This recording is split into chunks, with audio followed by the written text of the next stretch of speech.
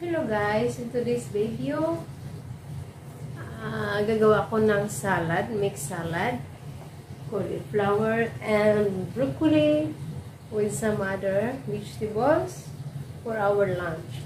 So, come and join me guys.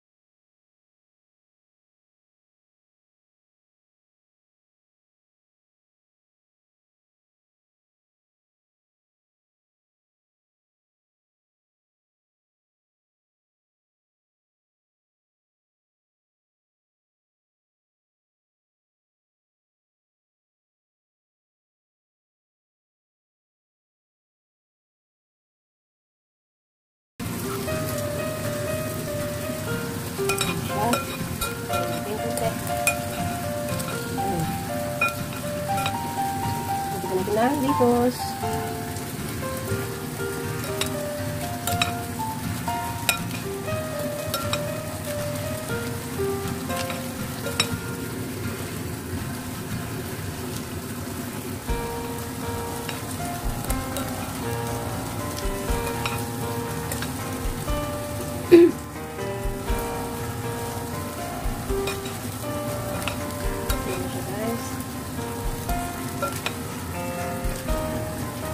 Design, nagawa ko na bracelet natin.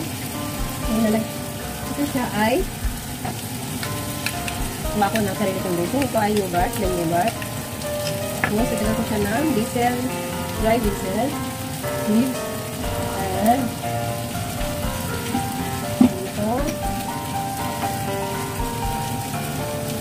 lemon pepper, saka ito, asin. So, ito,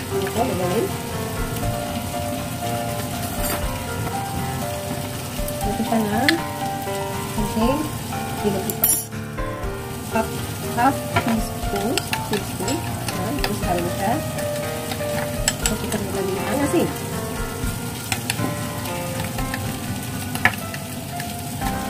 At itong diesel leaves. Tapos mo lang. Ayan.